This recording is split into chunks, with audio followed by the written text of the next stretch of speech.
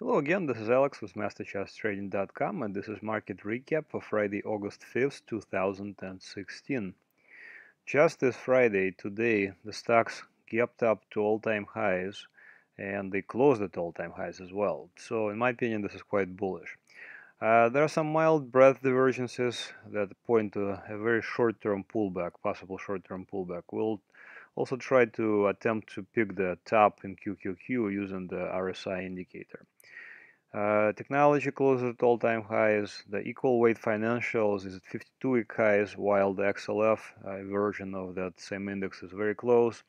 While the utilities are under pressure as bonds sell off. So we look at junk bonds that are following the market higher and are close to 52-week highs as well. Uh, well, then we'll look at bonds in more detail and see if we can uh, figure out if we if we indeed are seeing the bottom in interest rates. Uh, on the currency front, the dollar is holding its ground versus the other currencies, and as a result, uh, commodities, some of the commodities suffered, especially gold, uh, especially during after the upbeat jobs report uh, on this Friday. Oil is attempting to stabilize, uh, and then we'll look at natural gas, which is consolidating its gains, and finally finish off with agricultural commodities that are looking ready to resume their uptrend. Alright, let's start off with S&P 500 ETF SPY. This is the daily time frame. So this is a all-time highs and this is all-time highs close. Um, very impressive move of the Brexit low. Uh, you know, this chart pretty much speaks for itself. This is a extremely bullish chart in my opinion. I think pretty much every attempt to go lower was uh, met with more buying so I think if we get a you know a pullback of some sort, I think uh, it will probably be a good buying opportunity if we even get that pullback. Very mild breadth divergence here. You can see that there's a slightly lower high uh, for the breadth, uh, breadth indicators. This advanced decline line and the advanced decline volume lines. Very mild divergence here. So um, you can see that we're making higher high while here we're making a lower high so um, we'll see where it goes sometimes they just get worked off um, alternative scenario we may get a pullback um, very good support level I think will be around 211 210 uh, there's a lot of things happening in that area there's the 52 uh, 50 day moving average and there are all these peaks here so if we do get a pullback to around this area, I think it will be a potentially good buying opportunity. This is a, a little bit longer term chart of the S&P 500. Uh, similar pattern here, just going back, this is the actual underlying index without the dividends, so still all-time highs, and this is an all-time close, uh, all-time closing high. In fact, this is a Marubozu candlestick, whereas the open um, and the low high and close are the same so this is a very bullish chart uh, or the candle and we could probably we're probably going to see continuation higher uh, market became bullish in my opinion around uh, end of May of this year uh, before I think it was still kind of bearish and indecisive so um, according to um, my market breadth indicators the um, market became bullish around this area and um, my subscribers and I are basically only looking at bullish setups and bullish opportunities. Uh, I'm not looking to short at this point. Uh, as far as the um, percentage of stocks above the 20, 15, 200 day moving average, you can see we were dropping a little bit, but looks like this was uh, actually a um, like a signal to go long, if anything You can see we kind of dropped and then we kind of surged um, again. So uh, we'll see if we get any kind of uh, further uh, follow through or possibly we get a pullback. Uh, but as far as long-term indicators, I think they're firmly bullish. The percentage of stocks about 200 day moving average and the bullish percent index, they're both clearly in the bullish territory. They are one is at 75, one is 76. So no matter how you slice it, this is a um, bullish these are bullish indicators this is a longer term uh, chart of S&P 500 this is a weekly chart going back three years very uh, nice looking breakout.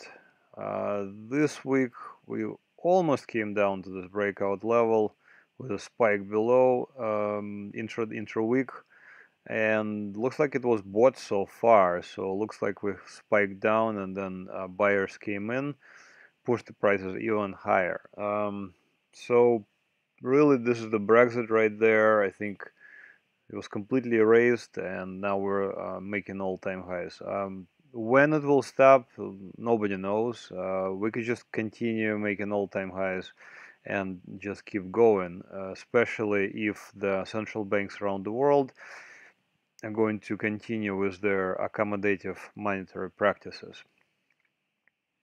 So we had a this is a QQQ on the daily time frame all all-time highs here on Monday but this is a really weird looking spike.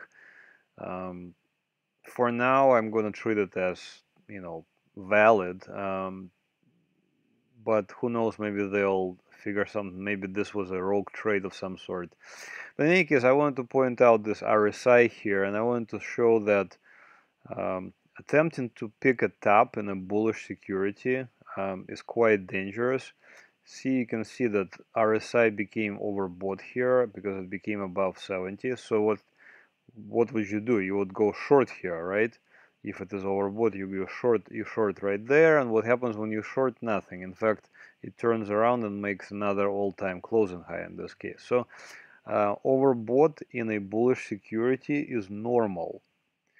And since this is a bullish security, it is normal for it to be overbought. Oversold in a bullish security would be a buying opportunity. So in this case, um, you know, if we're going to be using RSI and let's say our RSI drops to, let's say, below 50, then we should be looking for a buying opportunity. But in this case, overbought, and this is a loosely used term, we can just say overextended to the upside, um, means absolutely nothing. In, in fact, it's a good sign uh, because there's a lot of pressure, there's a lot of buying pressure. Uh, this is QQQ. This is just showing that uh, this week we've been hitting all-time highs, and this is uh, going back to 1990. So we took out this high from the um, 2000 Y2K bubble. Many key many key sectors are hitting all-time highs.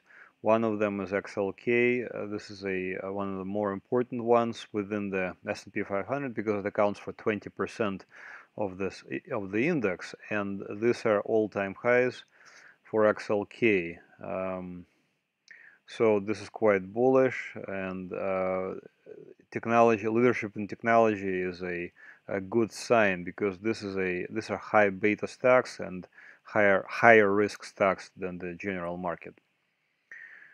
Um, XLF, this is a weekly chart of XLF financials. It's still dragging its feet and most likely because of the low interest rates, but it appears that we're attempting to go higher and this is a 52 week high so we're kind of closing in on the 52 week, 52 week highs so if indeed uh, later on I'll show the bonds and if indeed we did see um, a top in the um, bond prices and vice versa, the bottom in interest rates, then uh, going forward we could see banks uh, doing much better because their margin will increase because that's the way they uh, make money by lending at higher rates than they borrow. Here is a RYF, which is a equal weight financials in a weekly time frame, and this uh, week we did hit all-time high uh, this is a, uh, in fact, this is a, a closing all-time high because we are at 4480 and the previous one was at 4476. So this is a good, uh, I'm sorry, I meant to say 52-week highs because uh, all-time highs were uh, actually way back when. So this is 52-week highs. Um, still very positive looking chart. Uh, this is a more broadly diversified ETF, albeit rather thinly traded. So it's more for uh, educational purposes.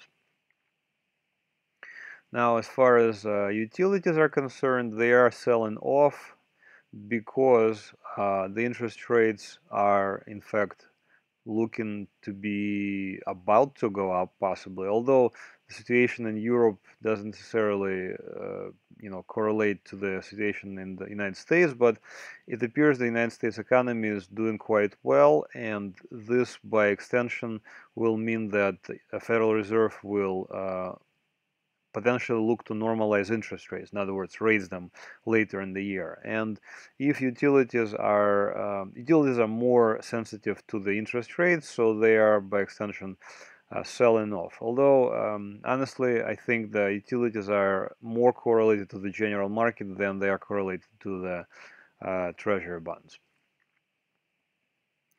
And uh, here's another example of uh, good appetite for risk. This is uh, junk bonds, the high yield ETF, high yield high yielding uh, interest rate bonds. Uh, these correlate highly to the general market, to the S&P 500. So uh, I look at them more of an extension of the stock market rather than the bond market. But nevertheless, we're approaching all-time highs yet again uh, I meant 52 week highs. We were at 52 week highs back here in beginning of July, and uh, today we almost hit 52 week highs, so we're very close.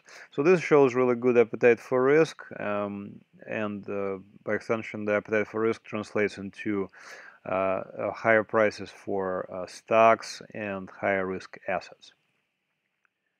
Okay, moving on to the bond universe. this is TLT, 20 plus year Treasury Bond Fund the daily time frame. Um, I pointed out this very steep advance um, and I said that this was clearly an unsustainable and I would never buy up here and we we did get a pullback and another attempt to go higher and now looks like we're attempting to actually go lower. So this peak so far um, is the peak for the bonds uh, for the treasure bonds. And whether or not this will be indeed the um, peak uh, that we have seen in our lifetimes is of course remains to be seen. But uh, for now um, you know I'm treating this um, uh, chart still as a bullish chart so I would be kind of reluctant to still short it uh, because um, there's quite a bit of support in this area. There's even more support in this area. There's a just tremendous amount of support around 131 uh, because of the multiple touches of that area. So if we break the support around 136 and then where the 50 day comes in, 136, we could easily find support around here. Um, so I would not necessarily um, just uh, write off bonds just yet. Uh, anything is possible, but for now, I'm still treating this as a bullish chart. We will see if in the future we will see if indeed this is the top. For now, I'm not ready to say that. This is TLT on a uh, weekly time frame. Uh, this is that surge I just pointed out, and then looks like we're correcting. So this could be a flag a breakout and then a fallen flag or maybe a triangle formation. Uh, and then if we break out of this flag or triangle formation, this will, will uh, call for, well, at least an attempt at all-time highs. So, uh, you know, you know, I've showed this uh, giant cup and handle in the past. There's this cup that came to fruition. This giant cup and handle, if it does come to fruition, this is a 20% move and we're 6.2% towards it. So another 12% is entirely possible. This is a more diversified uh, bond ETF, AGG. Very similar picture, very strong surge to all-time highs. I mentioned that I would never buy up here. Now we're kind of correcting, uh, especially this Friday, very large uh, candlestick.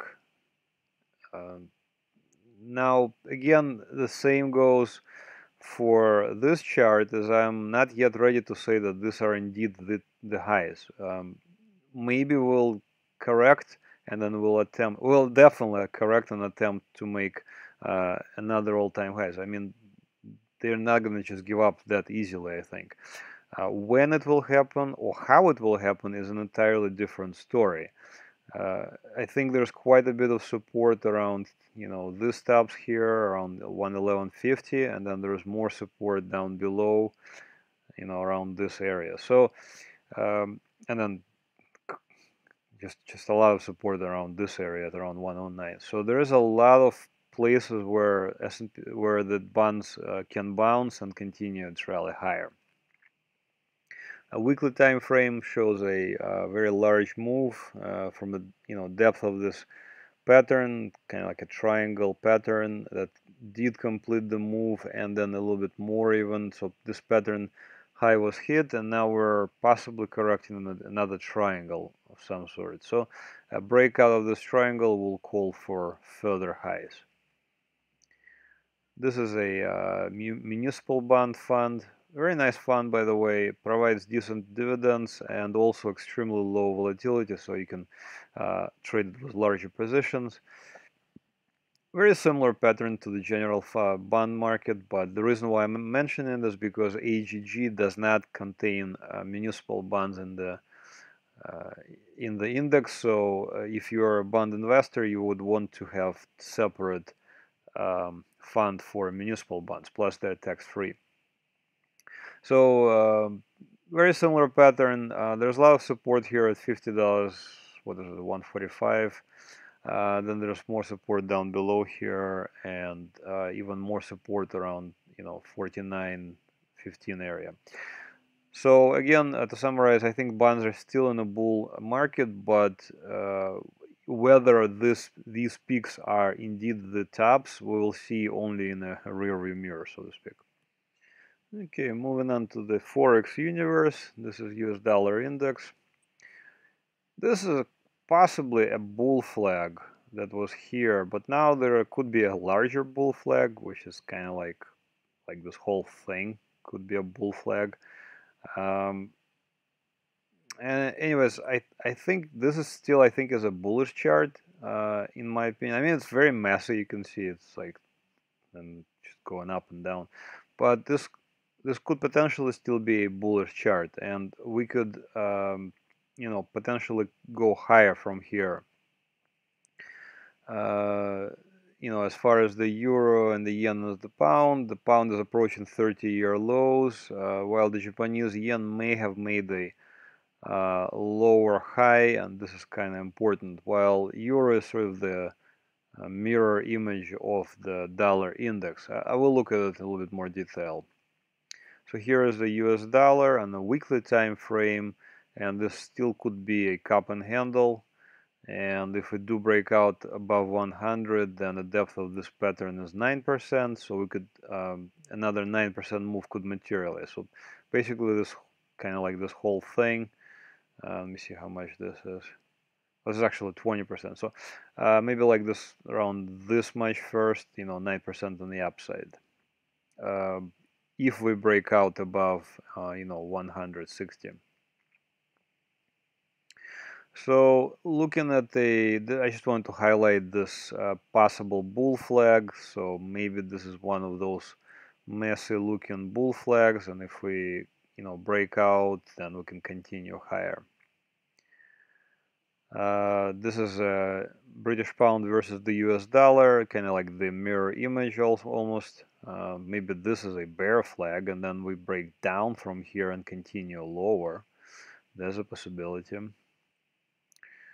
And finally, the yen. I keep covering yen because I just to me it's a very interesting looking chart, and uh, I think um, there is a possibility we are seeing uh, at the very least an intermediate top in the yen because um, I mentioned that so far the yen was not able to penetrate above this level, and another touch this week with a rejection looking candle for now. So it's possible we are being rejected around here at the 100 uh, units right there for XDN.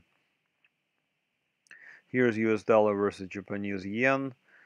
Uh, similar picture. It looks like we're repeatedly being rejected in this level, and uh, maybe US dollar will uh, actually rally versus the yen from here. Uh, it's entirely possible. Uh, what that means for the commodities, I'll explain in a little bit. In a little bit, but generally speaking, when you know U.S. dollar gains, it it weighs on various commodities.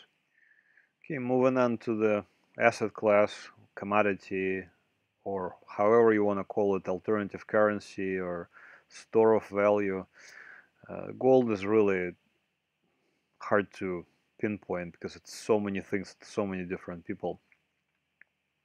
Anyways gold chart to me this is a chart. And this is a bullish chart. But maybe we had a lower high. So looks like maybe we need to do some correcting uh, because this is a very strong move um, very little correcting uh, maybe we maybe we'll finally pull back uh, some substantial pullback. At the very least 1300 possibly even lower to 1201 it really will depend on multiple things and I think the biggest one of course is the um, uh, correlation of dollar and uh, gold which is quite inverse. And as I said before uh, if the uh, if the dollar rallies from here against other currencies then we could see you know gold being under pressure and possibly correct further. Also very large volume here. So this is a possibly you know one of two things. This could be the initiation of a of a move lower or it could be already the end of a move lower. So um, either you know it could be one or the other. So for example here we had an enormous spike in volume and really it didn't really mean much did it? We just made another all-time uh, 52 week high. So um, for now I'm seeing a lower high here um, also this is a very overextended move and I would like to see a correction um, especially now that looks like the um, you know economic uh, outlook is has improved significantly with the good United States jobs report uh, there will be possibly less demand for uh, safety in gold Here's a weekly time frame of gold, continuous contract. Um, we had a breakout above this level here around 1300, a, continuation higher, throwback, and a possible continuation higher. But you know, for now, we're looking at this as a lower high. And again, as I said before, this is a bit overextended and a much stronger support, I think, is around 1200. Here's a very long term frame. This is uh, about five years worth of data and uh, it just shows that we were in a bear market until very recently and this is a very recent fresh new um, uh, bull market in gold. Um, one of my proprietary market breadth indicators is a gold breadth index that rejected every single attempt uh, at break at the breakout that gold had here but did confirm this attempt uh, at the breakout. So I think we're now in a new bull market, uh, but I think we're overextended. The same can be said about GDX. This thing is just a monster. Uh, we went from 1240 to 3164. It's almost, you know, almost tripled basically. Um, again, really with no rest. So, uh, you know, a, a continuation higher is indeed possible, but how likely is it? Uh, we'll see, I suppose. Uh, but you know, I think we need to see some correcting before a continuation higher. Here is uh, also GDX in a very longer term time frame, the same uh, showing the same um, weekly time frame as the uh, previous charts of gold and the many multiple breakout attempts that were all rejected but finally we have a breakout uh, that did succeed. And this is again a very unusual breakout very strong move uh, so uh, a rest of some sort is needed. This is oil in the weekly time frame uh, going back three years. Uh, I pointed out this rejection uh, a couple of months ago here around $52 or so and then we just unraveled from there and now we're this could be a hammer candlestick uh, intra, you know weekly hammer candlestick also very large volume. So this entirely possible that this is a hammer candlestick and it is at a logical level. Um, so if you're uh, you know buying support and selling resistance this is uh, exactly you know the level to watch. Um, whether or not this is indeed the support that is going to hold uh, is an entirely different story. Maybe we do a little bit bounce and then we just unravel again. I'm already hearing, you know, news that uh, Saudi Arabia is about to start uh, attempting to cut production yet again. Here is USO, United States Oil Fund. This is a tradable vehicle. You can trade it um, just outright, or you can use options as well. Um, this is a also weekly time frame. Very you know similar pattern. We have a, a wedge breakout, a breakdown rather, and continuation lower. Um, again, I think that this is a well pretty clearly a bearish security. So maybe we get a small bounce, but I think the much bigger direction is down. So uh, these all-time lows uh, need, uh, most likely are going to be challenged sometime in the not so distant future. Distant future. This is natural gas on a daily time frame. Uh, last week we had a very nice looking candle here, big surge. Uh, but you know, after such a big candle, it's normal to take profit. So this is you know profit taken after the surge. But I think already this week we already had another big candle. Um, that is signifying that I think the bigger direction is up uh, for natural gas and uh, it's kind of like it's coiling up and I think that if we get a uh, move higher we will uh, most likely challenge the 52 week highs here there's a lot of resist support that turns resistance here at $2.50 and the reason for that I'll show in the next chart so here's that chart and uh, pointed out $2.50 repeatedly um, in my previous videos. You can look them up. Uh, this is important level and we broke out above this level uh, sometime in May this was my uh, signal that we're turning bullish and now I'm only looking at, at bullish setups and I'm not looking to short natural gas before here I, before this time I was looking to short natural gas and in fact uh, my subscribers and I were, we were shorting natural gas uh, before this breakout now, um, you know, I, I really don't see a good reason to short it. Here's another reason not to do it. Here's a 50-day uh, going above the 200-day. This is a golden cross. So, you know, but this is UNG, so it's kind of questionable and more on the natural gas itself. Uh, with the golden cross happened even before. Anyways, to summarize, natural gas looking bullish, and I think we're um, most likely going to challenge the 52-week highs soon. This is DBA, uh, the Agricultural Commodities Fund. Uh, this is a diversified fund that holds various futures of various uh, agricultural commodities. Uh, so this is one way to have exposure to that uh, sector uh, of the investable universe. Uh, I think this is a, a, bullish chart. It became bullish around here when we had a breakout, also a golden cross here. But then we kind of hit, um, I do believe this is 52 week highs. Well, almost 52 week highs. Uh, and then we sort of unraveled. And this was worrisome because we had quite a bit of selling, you know, from this peak, almost two months worth of selling. Well, it looks like we're coming to some sort of a uh, bottoming pattern here. I, I see a bottoming pattern here because we have repeated attempts to for the by the bears to push lower and so far in this $20 40 $20 38 cents area these attempts have failed uh, on one two three four five six occasions so far and now it looks like on Friday we have a surge as well so this looks like a decent pattern and an attempt to go higher from here. So um, again, I'm looking at this pattern, at this chart from the bullish perspective for now. Here's a longer term chart for DBA.